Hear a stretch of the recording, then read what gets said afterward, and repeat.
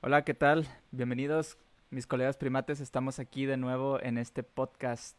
Bueno, en este nuevo podcast, Ciencia Esencial, aquí por Escepticismo Racional.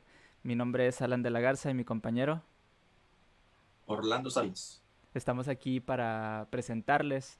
Estamos muy emocionados porque les estamos presentando un nuevo podcast que estamos usando, en el que estamos usando el, el tiempo, el horario del podcast de las 6, el sábado a las 6, para para que todos vayan conociendo este nuevo proyecto que tenemos que es eh, ligado eh, totalmente a ciencia, tecnología, noticias y más sobre todos estos temas que, que ahorita a veces es necesario que haya más divulgación científica, ¿no? Eh, pero ¿qué tal si les presento al nuevo host de este podcast y, y, pues que nos platique un poquito de qué, de qué va todo esto? Orlando. Hola, buenas tardes. ¿Qué tal? Buen sábado como dice el buen Alan, vamos a tratar de hacer un poco de divulgación de pláticas, pláticas no tan supremas, pero que tengan que ver con ciencia, pero que todos podamos entender y todos nos podamos acercar un poco a la ciencia, que es muy esencial, de hecho, y más en estos tiempos de, de falta de información o que crea mucha confusión la información. Ya no sabemos ni a quién creerle o, o qué leer o, o a quién acercarse, ¿no? Para aclarar las dudas. Entonces, la idea es este programa que sea un programa piloto para, para ver cómo podemos este, arrancar hablando de generalidades, qué es la ciencia, para cómo, qué es, para qué sirve, qué es un científico y qué no es un científico, cosas así. Vamos a llevarla tranquilo, vamos a platicar entre Alan y yo, pero vamos a estar viendo sus comentarios también para todos los que quieran participar, todos los que quieran dar su opinión acerca de su experiencia en ciencia o su experiencia con el acercamiento a la ciencia. Así es. Vamos a dividir este, este podcast en, en, ciertas secciones que va a ser, pues nosotros vamos a estar hablando un poquito acerca de lo que dijo Orlando, que es qué es la ciencia, cómo aplica a nuestras vidas, por qué es importante que, que tengamos nosotros conocimientos sobre estos temas. Y eso va a ser a, eh, alrededor de unos 30 minutos y los 15 minutos restantes estaremos pues tratando de responder preguntas, ¿no? Va a ser un poquito más corto para que sea ligero, que todos podamos participar y todo eso. Entonces, pues siéntanse libres de hacer sus preguntas. Aquí vamos a estar tratando de, de responder a todos los que se puedan, ¿verdad? Y pues que sean, que sean preguntas que, que podamos sacarle provecho, ¿no? A, este, para que todos podamos sacar algo bueno de aquí preguntas que podamos contestar. También porque tampoco somos tan inteligentes que digamos. Exacto, no pretendemos saberlo todo, nadie lo sabe todo, más que... Eh, más que solo Dios lo sabe todo. Pero pues las podemos buscar, o sea, podemos buscar las respuestas y eso es lo importante. Así es. Ok. Este, bueno, en este hay que aclarar también, hay que aclarar que estas pues, no son clases, ¿verdad? No son clases de, de ciencia, no vamos a estar explicando cosas, a menos de que alguien tenga un interés muy particular, lo pueda hacer. Simplemente es una plática de cómo, cómo, por ejemplo, bueno, igual les puedo comentar un poco de mi experiencia. No soy el tampoco el científico de referencia, Hay muchos otros ahí en la red que afortunadamente tenemos acceso a más información y más personas que realmente hacen ciencia todos los días bueno, yo me dedico a la ciencia también, pero otros les cuento un poco, pero no, no, hay, hay diferentes formas de hacer ciencia, ¿no? Y esas personas que realmente hacen ciencia y divulgan ciencia, pues ya las pueden encontrar en la red, pero nosotros podemos, digamos, aterrizar un poco, no, no ver así como que el divulgador científico allá, el que hace ciencia, que se la pasa dando pláticas de ciencia en todo, por, todos, por todo el mundo. Pero nosotros podemos ver así como que entre, en una plática entre amigos, cómo se vive la ciencia realmente en, la vida común de un ser humano promedio, prácticamente. Entonces, por ejemplo, yo estudié biología, algunos ya este, en otros podcasts me escucharon un poco mi resumen. Estudié biología en la, Facultad de Ciencias Biológicas de la Universidad Autónoma de Nuevo León. Y ahí conocí mucha gente interesante, mucha gente que estaba apasionada de la ciencia, muchas pláticas muy buenas ahí en los pasillos de la facultad, en los salones y todavía, algunos de ellos todavía conservo su amistad y, y los sigo contactando. Incluso otros hemos coincidido en, en el trabajo en el que me desempeño ahora. Eh, les cuento un poco, trabajo en un laboratorio forense eh, hacemos básicamente lo que hace el laboratorio forense es hacer pruebas de ADN para hacer comparativos. Está muy interesante, tal vez algún, en algún momento podamos hablar del tema del ADN porque, y ese tipo de cosas, pero en este caso vamos a hablar de ciencia en general. Entonces, no sé, por ejemplo, Alan, si quieres antes otro, agregar algo más al preámbulo. Sí, eh, aquí ya nos están haciendo de hecho bastantes preguntas, entonces creo eh, precisamente una de las preguntas que nos hicieron es que si nos que si podemos hablar precisamente lo que estamos hablando, que es la ciencia, ¿no? Está bastante interesante porque hay, hay, hay, una explicación muy sencilla sobre lo que es la ciencia, ¿no? Eh, sí, hay, hay, hay, explicaciones medio rebuscadas, ¿no? Es un conocimiento sistematizado, elaborado mediante observaciones o eh, observaciones de la naturaleza o de un fenómeno y que de ahí surgen datos y se generan conclusiones y ese tipo de cosas pero vamos a tratar de hablarlo más como que en español, ¿verdad? Aquí como que, a ver, ¿de qué me estás hablando? Y me gusta mucho el, la definición que da Carl Sagan en sus, en sus videos y libros. Em, él dice que sí, la ciencia es un cuerpo de conocimientos, sí, que resultan de observaciones, es cierto.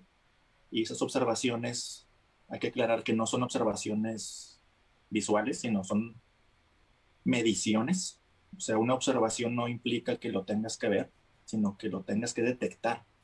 Y para eso no usamos los sentidos. Claro que, bueno, hay fenómenos que son evidentes y se, se alcanzan a detectar con los sentidos, pero la ciencia no utiliza el sentido, los sentidos como instrumento de medición, sino eh, reemplaza los sentidos por instrumentos objetivos de medición. Entonces, esas observaciones, esas mediciones, generan datos. Y esos datos, eh, tienes que agruparlos y tienes que saber qué vas a hacer con esa información para poder sacar una conclusión que se apegue a los datos observados. Y es entonces, como, como conclusión o como resultado, eh, eh, así mm, generas un, una, una explicación de cómo ocurre o qué está ocurriendo en la naturaleza, cómo ocurre ese fenómeno o, o qué está ocurriendo en ese proceso. Así es. Que se apegue a la realidad. Entonces es una forma medio rebuscada, pero un poquito más digerible de entender. Pero Carl Sagan dice, la ciencia sí es un cuerpo de conocimientos, pero más que eso, más lo que acabo de explicar, más allá, se va un poquito más allá y, dice, y lo simplifica un poco diciendo, además de ser un cuerpo de conocimientos, es una forma de pensar. Entonces, el conocimiento científico es una manera de pensar. Y hay diferentes formas de pensar. ¿Qué, qué, qué es lo interesante de, de, esta forma particular de pensar? Que se basa en observaciones y se, se basa en las mediciones de los fenómenos para sacar una conclusión. No se basa ni en los sentidos, ni en prejuicios, ni en, bueno, en creencias. No quiero meter mucho en ese tema ahora porque es un poco sensible, pero pero hablando de prejuicios en general, un prejuicio es yo pienso que así ocurre el fenómeno porque hacía mucho frío. Pero mm, una, opinión no refleja realmente una observación o no refleja un dato o no refleja necesariamente la realidad. Y puedes caer en conclusiones equivocadas si partes de prejuicios. Entonces, no sé si, si, si respondí la pregunta. Esa es la ciencia. La ciencia es una manera de pensar. Objetiva, claro, tiene características. Si quieren, podemos continuar con ciertas características, ¿no? Las características de la ciencia. Entonces, de, de, cierta manera, lo he mencionado en, en, la explicación, pero podemos resaltar varios puntos. La ciencia, por ejemplo, es, sigue un orden, o sea, es sistemática, porque sigue un orden, sigue principios básicos fundamentales que, que permiten estructurarlo. A lo mejor estoy viendo muy abstracto, pero en el transcurso de la plática espero que quede más claro. Y esos pequeños conocimientos se van acumulando. Esa es otra característica de la ciencia, que es acumulativa. O sea que pequeños conocimientos o pequeñas explicaciones se van acumulando para dar explicaciones a fenómenos más complejos, más cada vez más grandes. También sigue un método lo que les he tratado de explicar o lo que estoy diciendo, es un resumen muy burdo del método científico, que es el instrumento que utilizan los científicos para pensar. Esta forma de pensar en particular sigue un método que se llama método científico. Hay muchas, bueno, no muchas, pero hay diferentes maneras de, de, conocer o de llegar a una, de aprender o de conocer o llegar a una, a una, a una verdad. Bueno, vamos a entrar en conceptos que a lo mejor son debatibles, pero hay, hay diferentes maneras de adquirir conocimiento, de conocer. Y hay conocimiento que no ocupas un método muy sistematizado, como el conocimiento empírico, y el conocimiento que, te requiere un método, que en este caso es el método científico. Y el resumen así es, observaciones, puedes comenzar primero preguntándote o, o, tratando de resolver un problema, hacer observaciones para, mm, específicas para ese problema, sacar datos de, de, esas, de esas mediciones y analizar los datos para decir, bueno, de, de esto qué podemos concluir, hasta dónde podemos concluir. Entonces, la ciencia es metódica. Otra característica, vamos, voy a mencionar unos cuatro o cinco y, y, continuamos. También esos, esa, esa serie de, de, respuestas que se van acumulando son provisionales, porque a medida que, que este, esas mediciones van acumulando más información, podemos eh, llegar a, conocimientos que a lo mejor nos hagan cambiar de opinión, tal vez no drásticamente, pero sí podemos afinar ese conocimiento y eso lo hace provisional. Es la información y es la explicación, la mejor explicación que tenemos hasta el momento con, con, las, con los instrumentos de medición que tenemos en el momento y, y la, el entendimiento que, que hemos llegado a, generar hasta ese momento. Pero, pero eh, eventualmente en la ciencia y la tecnología avanza, los instrumentos se hacen más precisos, más sensibles, podemos medir cosas que antes no podíamos medir. Tal vez las escalas que, que usábamos antes no, no, eran las más adecuadas y se van afinando. Y entonces podemos medir cosas más pequeñas, cosas más lentas, cosas más grandes, cosas, etc. Cosas que no, que no percibimos con nuestros sentidos, también las podemos detectar. Y no significa que no ocurran porque no las vemos, no las olemos, no las escuchamos, como el electromagnetismo, por ejemplo. Pero es un, es una, se puede detectar con otros métodos. Entonces es provisional porque a medida que vamos encontrando más información, más datos, se vuelve más acumulativa y puede ir cambiando y modificando y mejorando la, una más para, para la pregunta, que esa información acumulativa que se va mejorando a sí misma es comprobable. Esas conclusiones que, que, que se generan de, a partir de esos datos, eh, si, si otra persona hace las mismas mediciones y obtiene los, esos mismos datos, puede llegar a las mismas conclusiones, independientemente de que lo haga en otra parte del mundo o en otro lugar del tiempo. ¿no? Entonces, si no fuera así, entonces eso implicaría que nuestras conclusiones tal vez estén basadas en datos equivocados o en algún prejuicio y tendríamos que regresarnos a, replantear esa, esas, esa serie de mediciones porque tal vez estamos obteniendo datos equivocados o interpretándolos mal. Entonces, por eso es importante que la ciencia no es un no es, un, no es una, eh, digamos, empresa individual, sino es una empresa colaborativa. Y, no lo hace una sola persona, sino prácticamente, claro que hay individuos que las hacen, pero, pero de manera colaborativa se, se, puede corroborar y se puede comprobar que lo que un individuo está concluyendo realmente está sucediendo en, en ese fenómeno o en esa naturaleza. Así es. Y de hecho, eh, cuando eh, se, se, habla a veces de, bueno, hay muchos negacionistas de la ciencia, cuando se habla de, de, un, de, un, método que sigue cierto, bueno, es un, es un proceso que sigue cierta metodología de observación, de medición, de experimentación.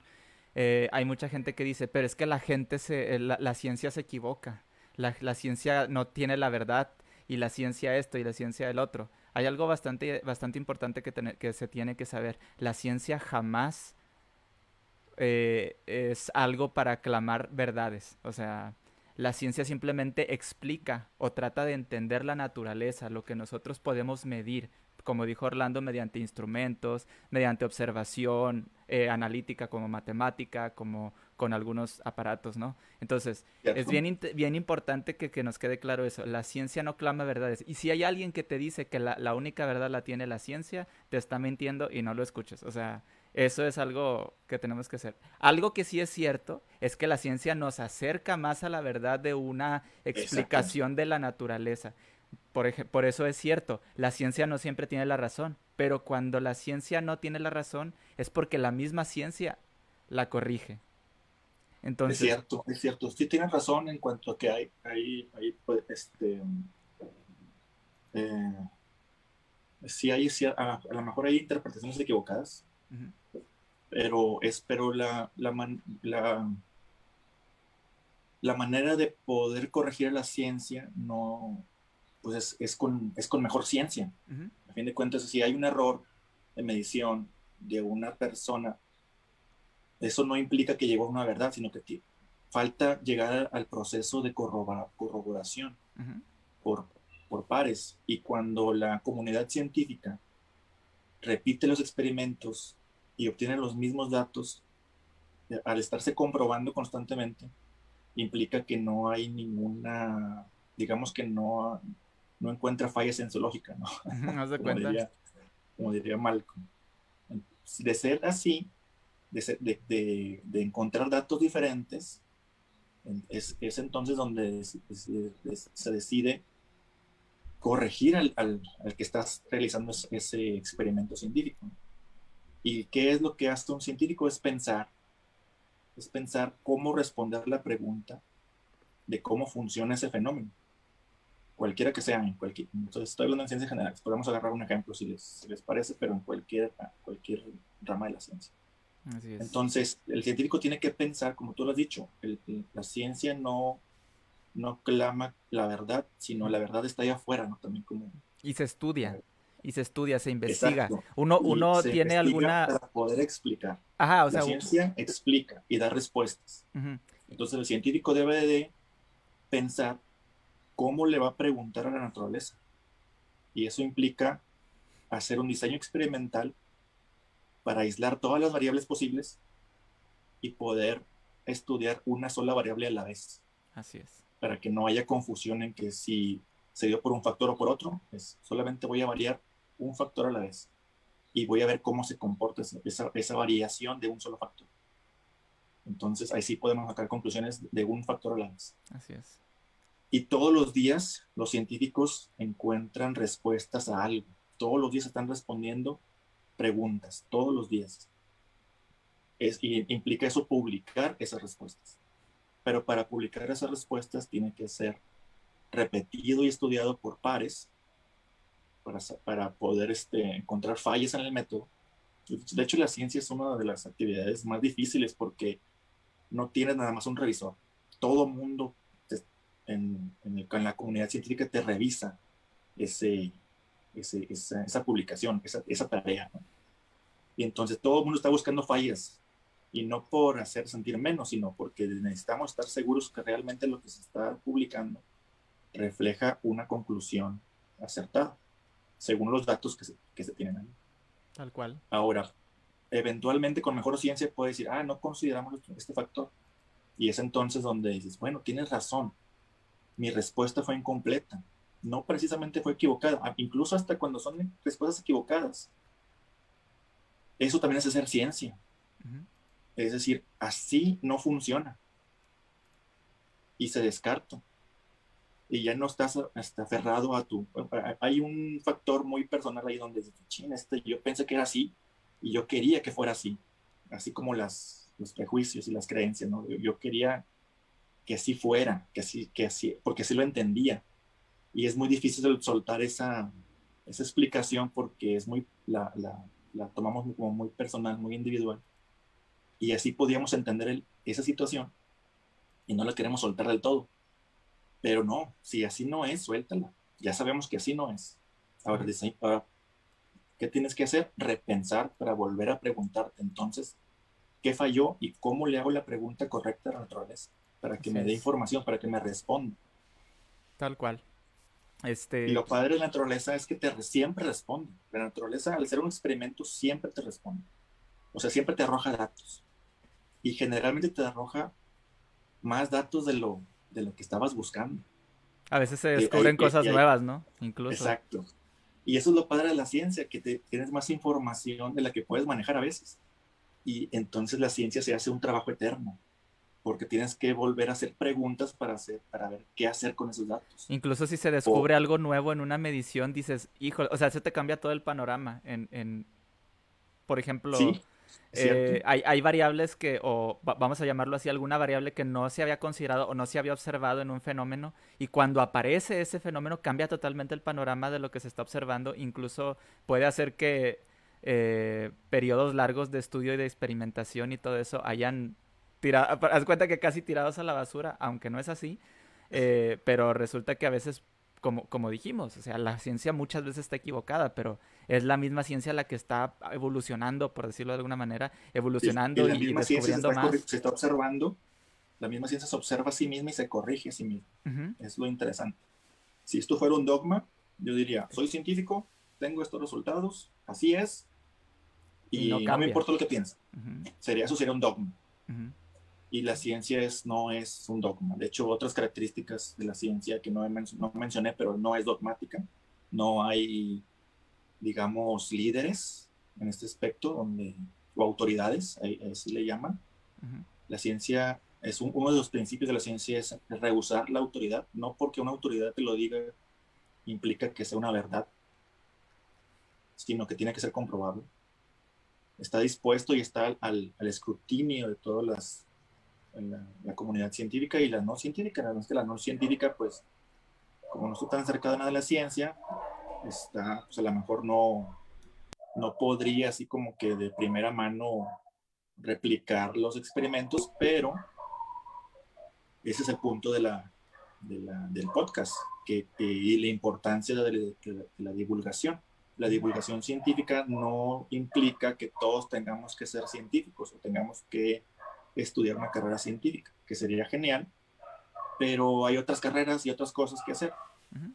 Pero como retomando la, la, explicación de, o la, la, respuesta de la, que la ciencia es una forma de pensar, cualquier persona puede ser científica, no ocupas tener un título que diga licenciado en, en ciencias biológicas o químicas, etcétera, física. Ahora, no, a lo mejor no tienes ese conocimiento universitario, pero sí pero sí, si entiendes la ciencia, puedes distinguir hasta cierto punto la fantasía de la realidad. ¿Qué cosas se obtuvieron a través de un método sistematizado? ¿Y qué cosas simplemente fueron un invento, una idea que, que no, se pudo, que no se intentó ni siquiera comprobar? Simplemente así se divulgó y se aceptó. Pero ¿dónde está la comprobación? ¿Quiénes fueron los científicos? ¿Quién fue la universidad? ¿Quién fue el instituto? Cómo fue el método para tener más o menos una idea, cómo llegaron a esos datos o esas conclusiones. Ahora, la desventaja de la actualidad es que eh, eh, las notas científicas son más bien notas periodísticas. Yo estoy hablando de publicaciones científicas, pero difícilmente una persona promedio compra una revista de Science y empieza a leer artículos científicos. Lo que, lo que a uno le llega son, artículos periodísticos de muy, muy resumidos y hasta a veces hasta transversados de las publicaciones científicas. Y entonces generan mucha confusión. Y, te, y sobre todo con esos títulos atractivos que son más bien para generar flujo en páginas, los clickbites, ¿no? Les llaman. En donde dicen, encontraron la forma de regresar en el tiempo. Ay, a ver cómo. Y empiezas, pues llama la atención. Pero dices, espérate, espérate, espérate ¿A qué te refieres? ¿Cómo está esto, no? Hay que leer más allá del encabezado y más allá del resumen que te pone.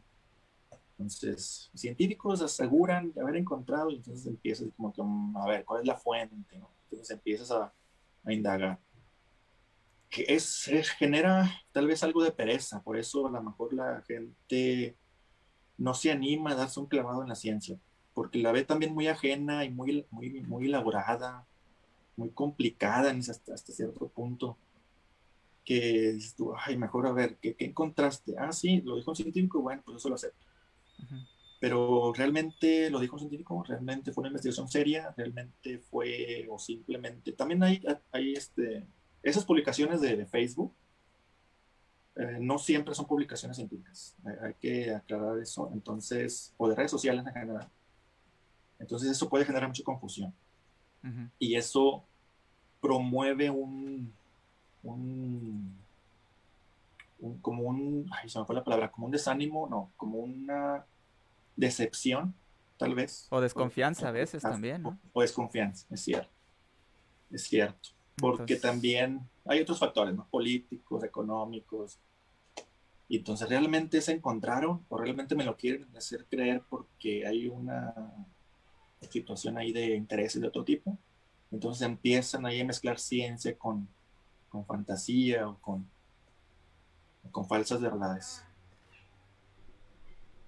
Pero bueno, la idea es que si nosotros nos acostumbramos y nos acercamos más a la ciencia, podemos distinguir esas, esas falsas verdades. Es como pues, hacer una analogía, a lo mejor fuera de lugar, pero como, por ejemplo con los políticos, ahora que hay elecciones cerca, en, al menos en Nuevo León, en donde hay una repulsión por la política y no, yo no quiero saber nada de eso, pero luego se los dejas en las manos, en manos de los políticos y hacen y deshacen y al cabo que el pueblo no le interesa. Si te acercaras más a conocer cómo sucede, qué pasa, quiénes son, qué pretenden, qué se puede hacer, qué no, los políticos tal vez estarían un poco más, digamos, preocupados por sus acciones porque estarían siendo observados por la comunidad, por los ciudadanos en general. Así es. Porque ya no los puedes engañar, o al menos no tan fácilmente. Sí, es muy difícil, es muy difícil a veces confiar en las fuentes de, bueno, es que están públicas por, por los medios de comunicación en general y así, pero pues uno para eso tiene la libertad de poder investigar de donde se pueda. Quisiera eh, hacer un paréntesis un momentito para mandar saludos aquí a la gente. Sí, no hay problema. Eh, quiero mandar saludos desde Escepticismo Racional para Vladimir, Julio César Corrales, eh, a Tsiri García. ¿De dónde nos ven? Nos están viendo, a ver, los que nos dicen, eh, Alexi García desde Tequila, Jalisco, gracias por estar aquí. Estamos aquí también en Libres de Dioses, para que sepan, estamos transmitiendo en tres lugares distintos, Escepticismo Racional, Libres de Dioses e Invítame a Pensar, para que puedan estarnos acompañando aquí todos los sábados. Eh, como les decíamos, este nuevo podcast va, va, va, a haber un nuevo podcast, no va, no va a reemplazar el, el que ya está. El podcast nuevo eh, va a ser en otro horario, estamos usando este horario para anunciarlo, para que todos lo conozcan y se vayan ahí al que le interese los temas de ciencia. Entonces, este nuevo podcast va a ser todos los sábados a las 4 de la tarde, ¿sí? Y posteriormente, a las 6 de la tarde, como siempre, estaremos en el podcast normal hablando sobre temas de ateísmo, escepticismo y, y libre pensamiento en general. Pero bueno, eh, aquí en, Libres de Dioses vamos a mandar saludos rápidos. A quien nos alcance es Ricky eh, Raimundo desde Estados Unidos. Gracias por vernos desde allá. Andrés Rivera desde Colombia. Ana Laura Paz desde Argentina. Saludos. qué, eh, bien. Así es. Javier Foradori. Andrés Rivera. Eusebio Torres. Mm, Sandra Fedorov, perdón. Fedorov desde Ecuador. Ordaz Pablo desde Venezuela, Ana Laura Paz, eh, Luis, un momentito, Luis Ailas desde Lima, Perú. Y a ver, ¿quién más? ¿Quién más? Charlie, Charlie, eh, Franny desde Colombia, Franny Sánchez, desde España, desde España, Salas Genaro dice, Salas Genaro, ¿cómo estás? Interesante. Eh, desde República Dominicana, Neftali, Javier Zavala, saludos desde Honduras. Ari DZ desde México. Gabriel Alfredo desde Guatemala. Tenemos aquí de todos lados, entonces. Eh, estamos Sergio Romagnino, eh, Julio desde Bolivia, Julio Alberto Rojas, Julio Alberto, aquí está, igual. Y Lucy Guerreros de Aguascalientes, México. Vamos a, a, las personas de Invítame a Pensar. Saludos de Tijuana, Jimmy Braga, eh, Carlos Alberto, eh, nos está preguntando acerca de, bueno, nos está comentando, la ciencia es el arte de preguntarse cosas que nadie suele preguntar, así es. Eh, Ismael Barra, saludos. Sergio Rodríguez desde Monterrey, eh, también saludos desde Monterrey, aquí andamos. ¿Quién más? Héctor Viveros, saludos eh, también Israel Kass, eh, Sergio Sarlinga, desde General Balmonte, Peter Quevedo. Uf, ahí son muchas personas, ¿eh? Vamos a, a, decir nada más los nombres porque si no nos vamos a tardar aquí todo el podcast. Tito Albarrán, Jeremías Johnson, Gabriela Fernández, bienvenidos, gracias por estar aquí. Carlos Alberto Hidalgo, eh, Gabriela Fernández, José Luis Villa Velázquez. Y si se nos pasó alguien, discúlpenos, son muchos comentarios y se nos, han hecho bastantes preguntas. Entonces, ¿qué tal? pregunta? Miguel Seminario desde Japón, dice aquí. sí, Japón. Sí, desde hasta Japón nos están viendo. Gracias, gracias por acompañarnos. Blog heurístico. dice que no. Sí, ¿verdad? Blog heurístico los pondré en mi blog. Muchas gracias. Este, cuando quieras compartir algo, pues tienes toda nuestro, nuestra bendición, ¿verdad? Este... Y vamos a hacer una plática más agradable. Si quieren interactuar o sí, claro, claro. si hay algún científico en el grupo, ahí en, el, en, los comentarios, o si no hay científicos, no importa, sino que nos cuentes sus, sus experiencias de cómo se han acercado a la ciencia, o qué tan fácil o qué tan complicado es en su país acercarse a la ciencia, qué, tanta ciencia les puede llegar. Así es, así es. Decía Carl Sagan en uno de sus libros, El mundo y sus demonios, en uno de sus primeros capítulos, si no es que en el prólogo, que cuando se está contando una anécdota, cuando va a un aeropuerto y se sube un taxi, y el taxista de alguna manera sabe cómo va por él y, le, y, y ve que se llama Carl Sagan entonces le empieza a sacar plática y no le causa mucho problema que, que se llame igual que el científico aquel. Y dice Carl Sagan así como que pensando, a lo mejor él no sabe que yo soy el científico aquel. Y ya cuando le explica que sí era el científico aquel, ya empiezan a hablar de ciencia, no quieren hablar de ciencia. Pero él empezó a hablar de ovnis y que de fantasmas. Y dice, ah, caray, pues, pues él, quería, él tenía una buena intención, tenía ganas de saber y, y tenía, estaba asombrado de esos fenómenos de esos fenómenos pseudocientíficos. A lo mejor podríamos hablar de eso ahora. Bueno, ya más o menos distinguimos, la pseudociencia está más pegada a la fantasía que a la realidad. Y dice él, pero no es su culpa, eso es lo que, lo que alcanzaba a llegarle a él de ciencia a través de la televisión. Entonces, este, pues es lo que tiene a su alcance.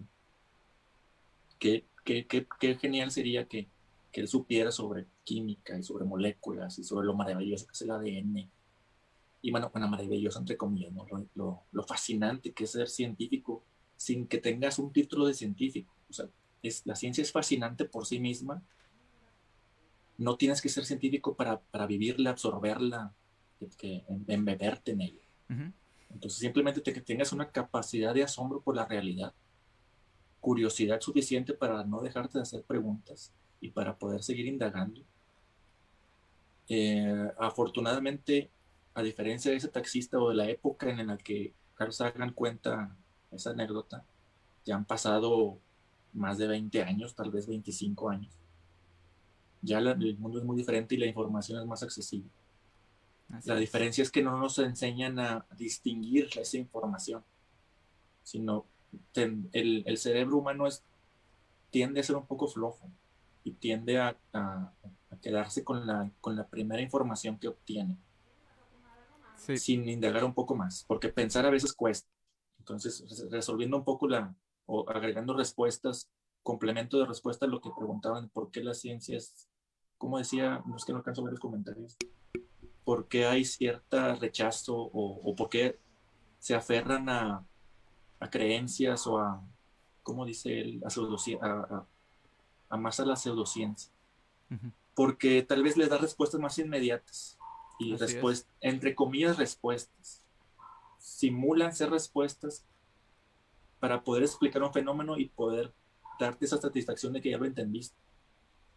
Sin embargo, por ejemplo, la vida, ah, pues la vida puede ser una situación milagrosa y, y es un puff y se hizo, y ya con eso te quedas conforme porque es una respuesta que no implica pensar mucho.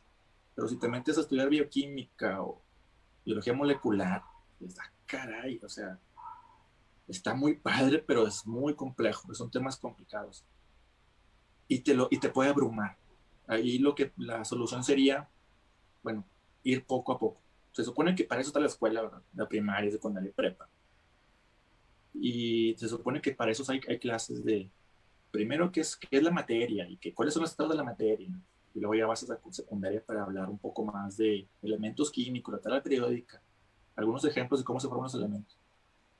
Y luego ya en la prepa, a lo mejor eh, en compuestos químicos un poco más elaborados, biología un poco más elaborada en general, pero ya ves la célula, ves los organelos. Y ya en la universidad, pues ya este, según los intereses de cada uno, pues a menos de que seas, que te haya gustado y te haya interesado y hayas decidido eh, seguir con una carrera científica, pues aprendes mucho más. Pero para la gran mayoría de las personas hasta, hasta ahí llegó la ciencia. Ya se dedican a otra cosa, estudian otra cosa y no debería, pero al menos ya se supone que ese ya, ya ese, ese, ese periodo de tiempo ya debió de cumplir con un conocimiento muy general y muy básico de cómo funciona la ciencia, para que de adulto no te la estés cuestionando. O sea, sí la cuestionas, pero no como, como, como que será cierta la evolución, ¿no? O sea, eso ya, eso ya quedó claro, o sea, lo que no queda claro a lo mejor es cómo los procesos que, que, intervieran en ese fenómeno. Pero también hay un montón de evidencia que lo habla. O sea, como que no es, no es tiempo para estar reinventando la rueda cada vez. O sea, ya hay conocimiento bien fundamentado. Ya se supone que ya debemos saber cómo funciona la ciencia. Pero como adultos algo pasa. Algo pasa que yo creo que la misma sociedad te aleja o las actividades o, las, simplemente la vida, ¿no? te aleja mucho de ese pensamiento, de, esa, de esas circunstancias y te vas quedando con respuestas fáciles.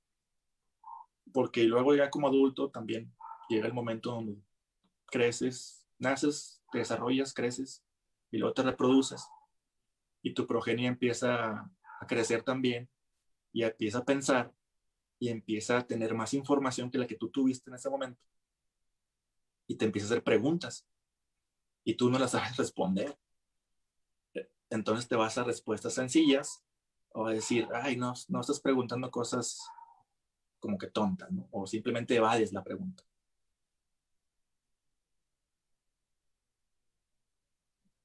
Eso sí me extendí mucho, vamos a hablar. Este, estaba hablando yo y estaba hablando, estaba con el, con el, audio bloqueado, perdón. Eh, eh, ah, ahorita que estabas hablando sobre esto, eh, me acordé de una estadística, no eh, se las debo, igual ahorita lo reviso, una estadística que se hizo y a veces no es, no es tanto que, o sea, la, ciencia está lo suficientemente avanzada como para entenderla si nos metemos un poquito, nos echamos un clavadito ahí, métete a Wikipedia y ya tienes las bases para saber más o menos en qué consiste la ciencia, lo que estamos tratando de más o menos decirte aquí, o decirles aquí. El punto es, no tanto es que no tengamos las herramientas, eh, es lo que decíamos, a veces es como, estamos mal acostumbrados a, no investigar muchas veces o a, no tenerle confianza a esos, a esos avances o a, esos, eh, a esa comunidad científica. No me acuerdo cuál era la, como les comentaba, la, la, estadística, se las debo y igual ahorita la, reviso, que decía que la, gente confía más, por ejemplo, en la fe que en la ciencia. O sea, hay una... hay Ajá, hay una, una desconfianza muy grande en cuanto a este tipo de temas, sobre todo cuando hay, eh, cuando hay tanta teoría de, conspiración diciendo que la ciencia quiere alejar al, al, al, al humano de la realidad porque nosotros somos otra cosa y nuestro objetivo es cualquier otro. Entonces, eh, está muy estigmatizada la ciencia hasta cierto punto, sobre todo cuando cuando hay, hay digo, por ejemplo, ahorita se, se le está, se le está eh, eh, quitando mucho mérito al, al, avance de las vacunas, por ejemplo, del COVID, diciendo que, que, nos quieren enfermar. A mí me han dicho, literal, así, eh, de frente me han dicho, es que las vacunas las están haciendo para matar a la gente, para matar a los adultos mayores, por ejemplo, o que la típica esa de que quieren implantarte un chip o que te quieren poner la la marca de la bestia. Digo, no estamos hablando aquí de religión ni nada, pero eh, el punto es que eh, está, está muy, muy estigmatizado el, la ciencia, sobre todo cuando avanza mucho, porque hay periodos en donde la ciencia avanza, mucho avanza mucho. Ahorita lo, lo, estamos viendo con las vacunas. Ya no hay una sola empresa que, que, está produciendo vacunas, hay varias empresas que lo están haciendo y se está distribuyendo a nivel mundial. Y eso, eso lo que hace es que cause mucha... Eh, desconfianza entre mucha gente que no está como un poquito relacionado con ese tipo de cosas. Entonces, sí es, es bastante, bastante importante que, que, nos, que nos interese un poquito meternos a, este, a, estos temas. Eso es lo que estamos tratando de hacer con este podcast.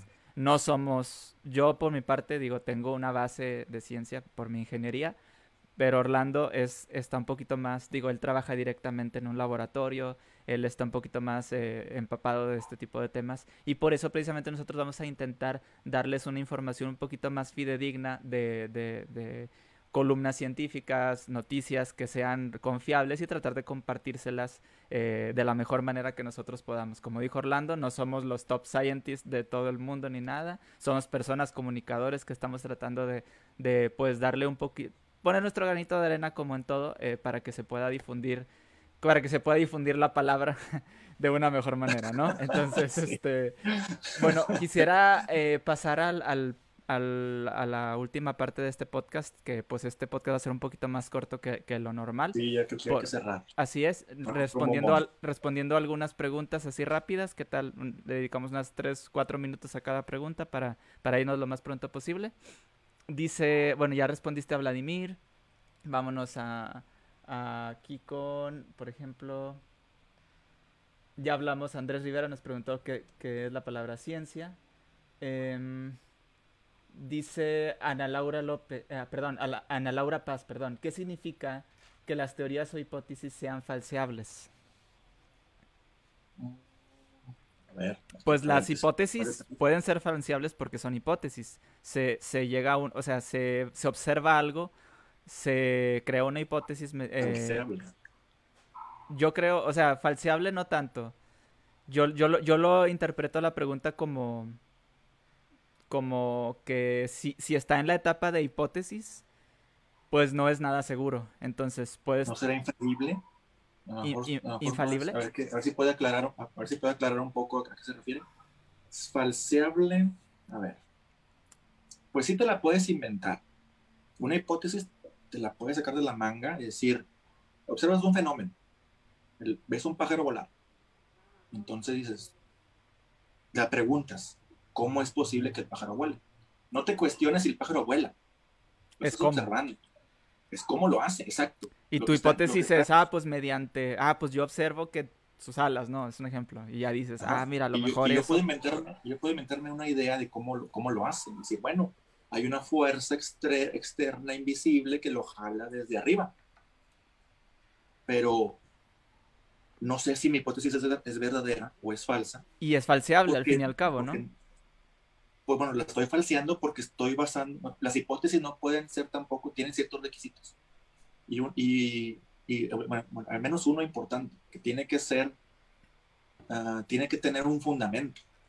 O sea, si no, si, no, si no hay nadie o algo que te indique que hay una fuerza que viene del exterior, del espacio exterior, que está de alguna manera jalando ese objeto o ese animal para que se pueda estar suspendido en el aire, no hay algo que te, no hay un antecedente de, eso que estás afirmando, entonces tu hipótesis no está muy bien, este, tiende a ser más una creencia infundamentada que una hipótesis, como cuando pretenden disfrazar de ciencia algunas creencias, como, como el origen de la vida, por ejemplo donde decía, es tan compleja la vida que tiene que ver un factor Externo. muy poderoso que lo haya creado. El creacionismo no es una hipótesis. El creacionismo es una idea que a alguien se le ocurrió y, si, y, la gente se sintió satisfecha con esa respuesta y simplemente la aceptó. Pero el creacionismo no es una, no es una hipótesis, ni siquiera eso. Y muchas veces las, las ideas que ni siquiera llegan a ser hipótesis las toman como un hecho irrefutable con la misma con el mismo valor que una teoría. Y tú dices, esta creencia es más fuerte porque la tuya es solamente una teoría, pero la teoría está muy acá. La teoría ya pasó por un proceso de, de experimentación, de Riguroso. colecta de muchos datos, de mucha evidencia, de estudiar los datos y sacar conclusiones que tal vez no son las más completas, pero ya pasó por mucho y tu idea ni siquiera ha pasado ni siquiera es una hipótesis, eh, digamos, válida. Porque una simple idea que se te ocurre no, no es candidata, no cualquier idea que se te ocurre es candidata para hacer una hipótesis. Yo digo, bueno, tal vez tenga que ver algo con la densidad del aire. Entonces, porque yo viento objetos y hay, objetos que, que, con el aire flotan o se te tienen a elevarse. Entonces ya tengo un fundamento. Dice, tal vez el aire le estoy empujando de alguna manera. Y no es así. O sea, sí, bueno, la, sí hay cierto, obviamente hay cierta resistencia del aire, pero aún así, aún sin saber, este, ubicándonos en un tiempo en donde a lo mejor no tenemos esa información, digo, bueno, si las hojas de los árboles también tienden a caer y cuando viene un viento fuerte las avienta, entonces el aire algo tiene que haber. Y entonces ya tengo una idea que ya está más cercana a la realidad. Y esa sí es una hipótesis válida. Totalmente. Eh, de hecho, de hecho ese, ese, es el problema, que también no hemos, en muchas ocasiones no hemos distinguido lo que es una hipótesis de una teoría y se le da menos valor a una cosa que se llama teoría, pero, pero no, se, no se entiende a veces. O sea, por ejemplo, la, la gravedad es una teoría. Cierto. La gravedad es una teoría. Es una ley, pero a la vez es una teoría.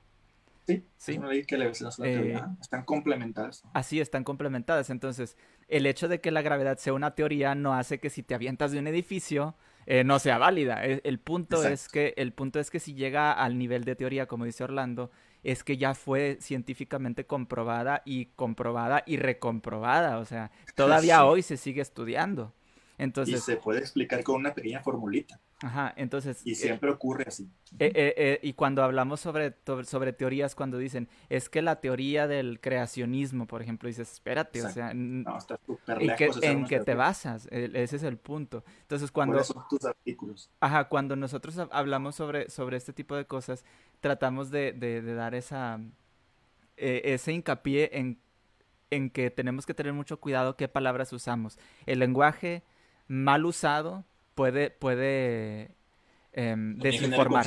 Ah, puede generar confusión y desinformar a gente, ¿no? Gente bien intencionada que dice, es que yo vi que dicen que la teoría de y empiezan, ¿no? O que esto es solo una teoría. incluso podemos hablar en otro podcast, es solo una teoría. O sea, sobre, esa, sobre ese tema hay mucha tela que cortar porque es demasiado extenso y demasiado peligroso cómo se le quita importancia a la ciencia cuando dices, es que es solo una teoría. O sea, es, es algo que tenemos que, que, como que tenemos que cambiar ese switch. Tenemos que cambiarle el switch y, y, y, acostumbrarnos a que la palabra teoría tiene el mismo peso o, o, a lo mejor que se vea con el mismo peso que la palabra ley. a lo mejor no. La podemos entender como es una explicación que ya pasó por un proceso de experimentación múltiples y que explican, es, esa teoría es una explicación de un fenómeno. Ahora, no te gusta, no estás conforme con esa teoría, haz experimentos más precisos y si obtienes más información, ven y avísame, bueno, la comunidad científica, para complementar mi teoría. Difícilmente una teoría la vas a rechazar, difícilmente la vas a tumbar, porque ya pasó por explicación, ya tiene datos, ya tiene información, tiene evidencia. No es una hipótesis. Las hipótesis ya las puedes tumbar, pero la una teoría difícilmente la puedes tumbar porque ya está muy bien cimentada. Lo, a lo mucho puedes llegar a decir, bueno, encontré más información y esa información quizá afine un poco esa teoría, pero difícilmente la vas a tumbar, porque no es una idea que se me acaba de ocurrir, es una idea que la humanidad ya tiene muchos siglos estudiándola y eh, eh, alimentándola de, evidencia. ¿Sí, sí, me, sí me explico. Difícilmente vas a tomar una teoría. O sea, yo no, me, yo no sería, me hace mucho atrevimiento de la gente decir, ah, es una teoría y, y Einstein está equivocado ok, puede ser, puede ser, pero pues demuéstramelo. Entonces, eso es lo, lo, lo, que tenemos que... que eh, y, y, y, toda esa confusión y, ah, y pero cuando dicen que Einstein era creyente, dicen, ah, Einstein tiene razón. Ah, sí, es, que si Einstein creía en Dios, dicen así, entonces, pues entonces tú, tú simple mortal, tú estás diciendo que no crees, por ejemplo. O sea, no es así, hay que incluso saber a qué se refería. Ajá, hay, hay, hay que saber incluso a qué se refería ese. Y es más, y, y aunque él, vamos a ponerlo así, si él hubiera creído en Dios, porque ni siquiera se refería al Dios de la Biblia, por ejemplo, pero si él hubiera creído en Dios... Ajá, ¿y qué? O sea, ¿qué si él hubiera creído en Dios? Exacto, ¿dónde está el artículo publicado y, comprobado por sus pares que demuestra la existencia de Dios? O sea, está tomando una creencia de él como hecho pero sus artículos publicados y demostrados, y, y si tú haces lo mismo que él hizo, obtienes los mismos datos, obtienes las mismas fórmulas, las mismas explicaciones, eso por qué lo rechazas. tal cual. Entonces, ¿dónde, está, este ¿dónde están sus publicaciones acerca de Dios? Eso no lo hizo. Es una creencia muy individual y muy, muy personal. Sí, y si la tuviese. Me quisiera, quisiera comentarles acerca de, de, lo que les comentaba, de lo que les decía ahorita de la, de la, mm, estadística que se sacó. La, la, estadística la sacó el. Ay, un momentito. El Consejo Nacional de Ciencia y Tecnología. Y fue... Ay, ¿en qué año fue?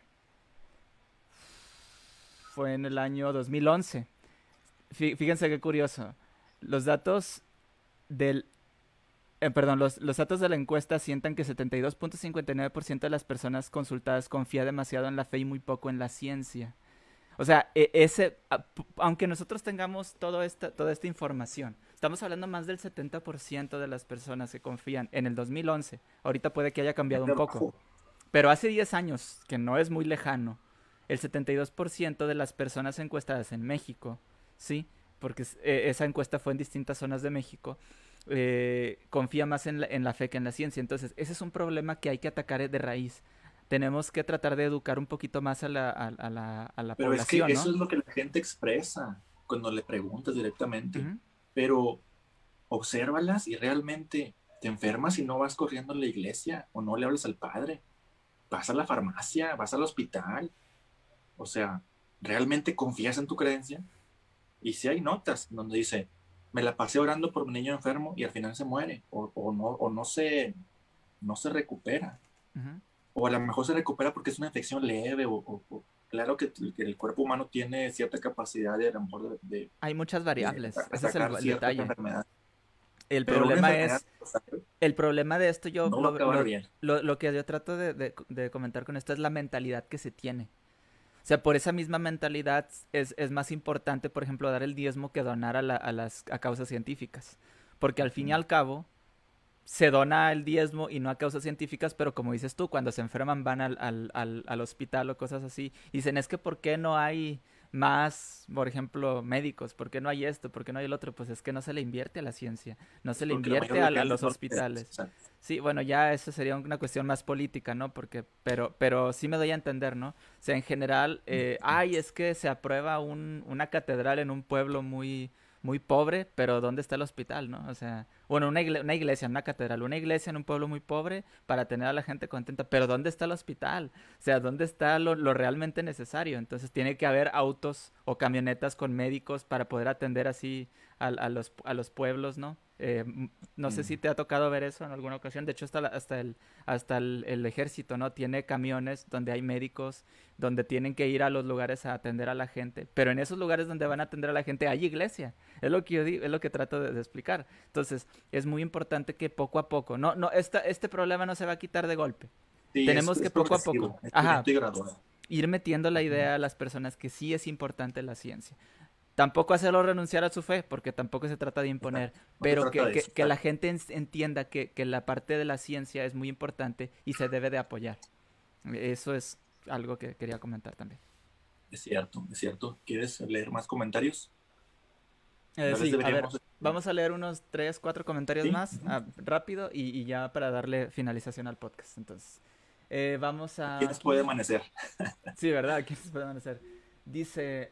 Mm, hay teorías científicas que ahora han sido abandonadas por la ciencia, dice argumento Andrómeda. ¿Tienes alguno en mente? Pues serían hipótesis, otra vez volvemos a lo mismo, no sé a cuál se refiere exactamente, pero yo creo que sería más bien hipótesis. Sí, hay hipótesis, muchas hipótesis, la mayoría de las hipótesis se desechan, o sea, no pasan por el proceso, no pasan mm, por el estricto paso o o el estricto proceso de la experimentación y no arrojan datos suficientes para que apoyen esa hipótesis, desechan. Me gustó mucho un comentario de, de, Blog Neurístico que dice, la ciencia es la mejor herramienta que tenemos para acercarnos a la realidad, pero nunca podemos llegar a tocarla. Es cierto. O sea, la realidad la podemos entender, como dices tú. En algunos casos tal vez sí, porque hay fenómenos físicos muy fundamentales que se pueden explicar como la gravedad. Ya la realidad está completamente explicada. La experimentamos pues directamente, pero no la entendemos al, al 100. Eso es lo que trataba a lo mejor de explicar, ¿no? Tal vez, pero la ciencia ya la explicó ya, y la explicó con una pequeña fórmula. Por ejemplo, en ese caso en particular, hay otros fenómenos más complejos y con más variables, y entonces sí, a lo mejor nunca vamos a llegar a explicarla completamente, pero cada vez está más cerca. Sí es cierto lo que dice, pero también entiendo que hay este, explicaciones muy fundamentales, eh, sobre todo físicas y químicas muy fundamentales, que ya están explicadas y no hay mucho que, debatirle ahí. Así es. Fíjate, ahorita estoy leyendo un comentario precisamente sobre esa pregunta que Rolando eh, contestó acerca de que hayan sido abandonadas algunas teorías, que dice, sí las hay, todas las teorías científicas están sujetas a cambio, la ciencia no es dogmática, lo que tú decías. La, hay teorías científicas de la antigüedad que han sido abandonadas o modificadas porque mejores teorías han sido propuestas y explican mejor la manera del mismo fenómeno natural. Así es. Muy buen comentario. muy buen comentario. Y qué bueno que se desechan, porque si no se, caeríamos otra vez en, en, una iglesia de la ciencia, caeríamos en creencias. Entonces, qué bueno que ya se, que se entendió que así no es, y qué bueno que se desecharon. Y vamos a seguir buscando información. Pregunta a alguien que si son confiables los artículos científicos que publican en una página que se llama bibliotecapleiades.net, no lo conozco, pero habría que revisarla y ya nosotros... Bueno, depende. Si se publican por ellos, tal vez pudiera ser dudoso. Pudiera ser, porque a lo mejor no pasan por un filtro. Puede ser. Hay que ver cuáles son sus fuentes. Hay que leer, por ejemplo, si ellos solamente están tomando publicaciones y las están compartiendo, eso es diferente. Ajá, por eso hay que ver la bibliografía. ¿De dónde sacan esa información? Que no sea como una nota, como dices tú, una nota periodística que te viene ahí la cosa, o sea, de que, ah, como dices tú, de que se descubre los viajes en el tiempo, que dijiste tú, pero no dicen de dónde, ni cómo, ni exactamente a qué se refieren, entonces ahí ya se vuelve amarillismo científico. Y puede ser una página dudosa de Facebook que cualquiera, cualquiera pueda hacer, yo la puedo hacer, puedo poner cienciaparatodos.com, lo que sea. Y, y, pero si yo, mi fuente es la revista Science, pues entonces no, va, no, no, sería cuestionado el artículo porque yo lo compartí, sino porque está publicado en una revista donde ya se revisó. Pero si yo me invento el experimento y lo pongo en mi página, como yo como autor, pues a lo mejor ahí, que nadie me revisó, no pasó por un filtro de esos tipos de revisiones, pues entonces esto, hay que comprobarlo, ¿no? Y ahí no le creerá mucho, ah, pues qué interesante el experimento, pero pues como le, según el método que hayas utilizado y los instrumentos que utilizaste. A lo mejor este, lo hice en mi patio, ¿no? Entonces, si, si esa página, hay que ver, si esa página está produciendo este artículo o esa página solo lo está compartiendo. Y en la bibliografía vienen las instituciones y científicos que, que, lo elaboraron. Habría que evaluar eso. Así es. Eh, dice eh, otro, otro comentario. Mm, Carlos Alberto dice el factor humano elemental para que la ciencia para que la ciencia florezca es la capacidad de asombro, quien se toma impávido ante las maravillas de todo lo que percibimos. Le da la espalda sí, es cierto, tengo un comentario también. La gente se maravilla por, el, por los milagros que uno ve todos los días, ¿no?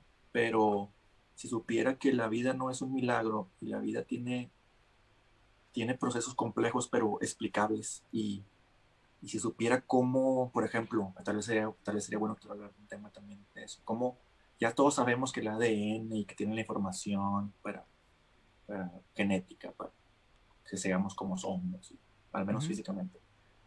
Eh, mm, y está muy padre porque ya lo vimos en películas, ya lo entendemos, ya nos bombardean con esa información.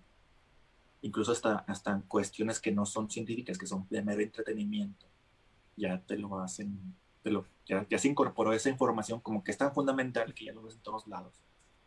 Hasta en hasta en caricaturas, incluso, hasta para los niños.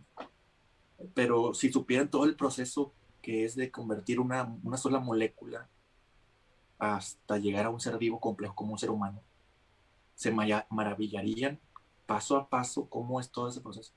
Incluso hasta dices, ah, sí, aceptan la información, sí, el ADN, sí, está muy padre pero luego te dices, luego le preguntas, así como las encuestas, y le preguntas directamente, ¿cómo llegamos nosotros? ¿Cómo llegamos a existir? Y se olvidan de eso, como que de cierta manera esa ruta de cerebral no, no la ligan con, con, esa información, sino que se van con la información de que, ah, no, sí, está muy complicada. Y pues yo creo que tiene que ver un factor muy especial para esto porque no me explico cómo. Aún y cuando esa es ciencia también muy esencial, que en las primarias ya te las están enseñando. a, niños de 6, 7 años ya te hablan del ADN. Claro que a un nivel primaria, pero ya lo conocen al menos. Y ya no se lo van a estar cuestionando y ya no van a estar diciendo que, o, otras, otras pseudociencias sobre, ya no van a estar hablando sobre seres imaginarios al menos. O sea, sí habla de seres imaginarios, pero distingue que esos seres imaginarios es fantasía.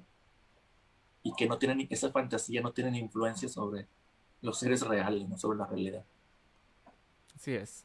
Muy bien, eh, estoy viendo una cosa, eh, hay muchas preguntas distintas, eh, hay mucha gente que afortunadamente le interesa mucho estos temas y estamos... Vamos a tomar nota para, para, que, para que sean temas de esos. Se me ocurre una cosa, podemos hacer una encuesta, la publicamos en las páginas y, tomando en ah, cuenta los, comentarios que, que, se, que se hicieron aquí en el podcast, tomamos como las tres, cuatro ideas más, como más interesantes o no más interesantes porque todas son interesantes, pero podemos hacer incluso una lista de todas las, de, de, todas las preguntas que se hicieron.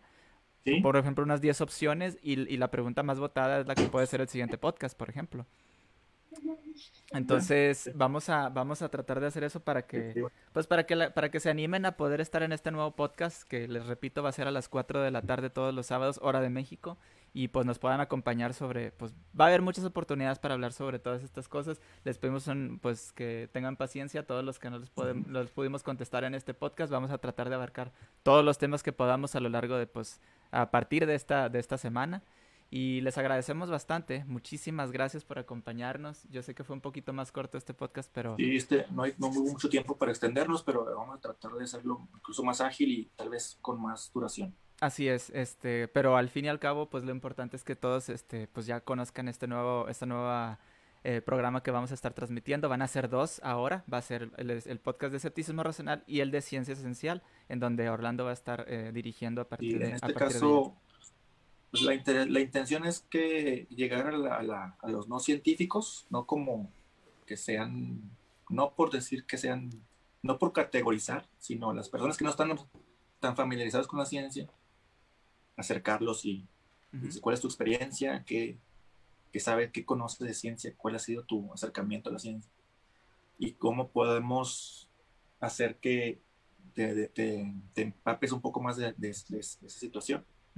Eh, porque a veces es, esa, esa, esa eh, ¿cómo se puede decir? Ese enlace entre los que, los que estamos un poco más metidos en la ciencia y los que no, a veces está muy, como que muy separado. Y no debería ser así.